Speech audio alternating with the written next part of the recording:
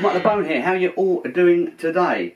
Um, well, I've had a couple of uh, um, emails from people um, talking about different tunings, um, which are quite right. You know, I mean, well, most of my stuff that I do is in Open G. I do actually do a few songs in in Open E as well, and actually a couple in Open D. Um, but very rarely in Open D. Most of the stuff, well, I say 90%, 95% of the stuff I do is in Open G, and the odd ones I do are in Open E. Um, as someone pointed out the other day, uh, when I'd done Hoochie Coochie Man, I showed you two different ways of doing it. One with chords and one with a bit of slide. And someone said, wouldn't it just be easy to do it in Open E in slide? Which, yes, quite right. Um, instead of trying to do it the way I was doing it with here.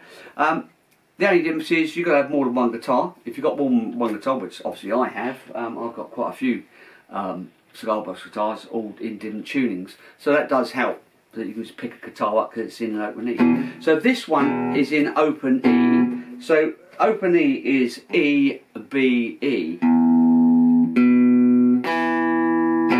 So that's your open E. Now the, the great thing with open E um, is that if you're if you if you've been a guitarist or a guitar player, you'll be familiar with this tuning because the top string is an E, like a top string on a normal six-string guitar. The bottom string is an E, like a normal string on a, bo on a, a, a bottom string on a normal guitar, and the B is again the second string on a six-string guitar. So um, in a way, it sort of helps out a bit more. Um, the other thing is the, the strings are a lot slacker because you're tuning down, so you can get a little more bend.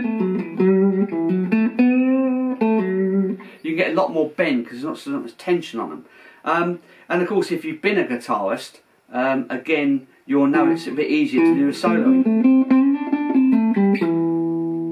Um, so there is sort of advantages. The other advantage, of course, is um, you would know that the fret position. So if you're playing in a, a normal tuning of a six string guitar, your G is on the third fret. Well, of course, if you're in open E, as we are, G is on the same thing. It's in the third fret. The A, fifth, and then you keep going up. B. So you, that the top, the strings are basically the same as a six-string guitar. So there are sort of advantages. Um, and again, if you were going to play um, Hoochie Coochie, it's a U and E.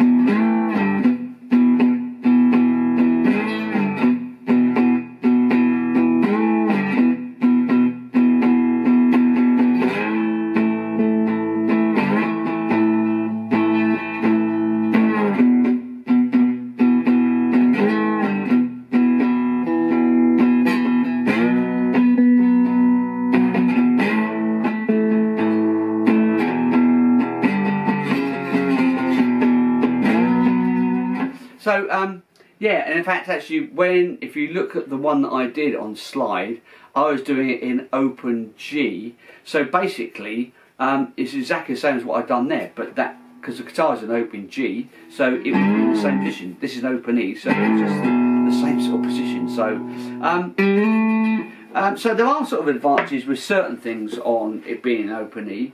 Um, so I just thought I'd just throw that out because a couple of people have asked me about different tunings.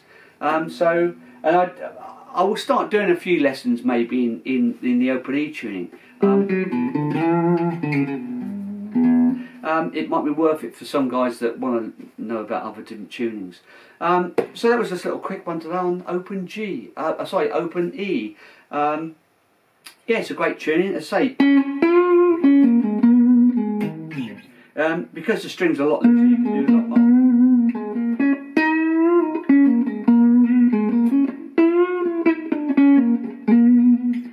sort of solo a bit more. Um, so okay, um, please subscribe to the channel, watch lots of other videos coming up, um, and lots of past ones. Um, Marc Lebone, see you again soon. Bye for now.